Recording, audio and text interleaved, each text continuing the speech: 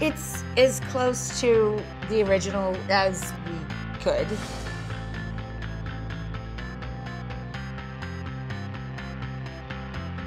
This is our house.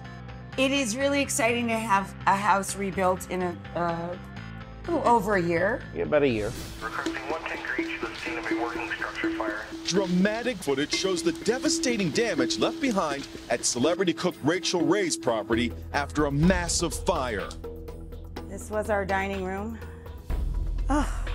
It was August 9th of 2020 when our house burned down. A creosote buildup in the chimney. Basically, our house burnt onto the roof and burned over several days. When it was cleared away, what was left was literally just the hole in the ground. The basement foundation, everything else was cleared away. Basically, John and I lost most of our adult lives. Everything we had for over 50 years, our life, um, went away.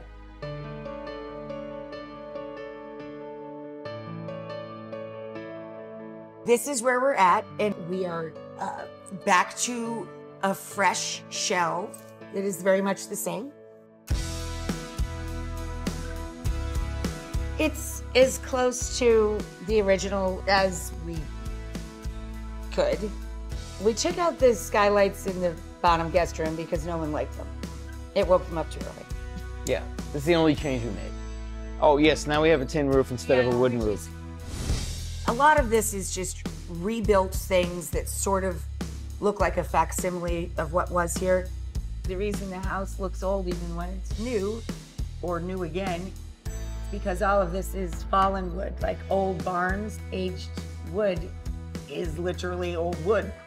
It's uh, reclaimed fallen barns and beamwork, um, which gave the house the warmth it had. I just need to be grateful for the fact that we rebuilt this again quickly. And everybody in life in the last couple of years has had to move on and pivot and rethink and reorganize their lives. And that's what we're trying to do. I am super grateful that we had the firefighters that saved our lives. And we ultimately became very grateful to have everyone share our lives with us through this tough time because we were all going through the same tough time together.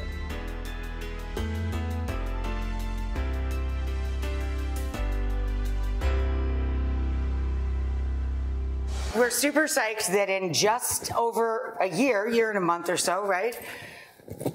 We, we have the bones of our house back. We, we have a structure.